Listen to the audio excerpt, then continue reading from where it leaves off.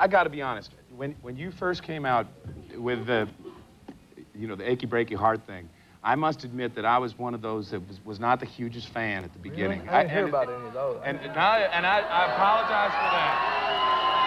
No, I got to be honest. I mean, I'm being stone cold honest. I'm going to cry all the way to the bank.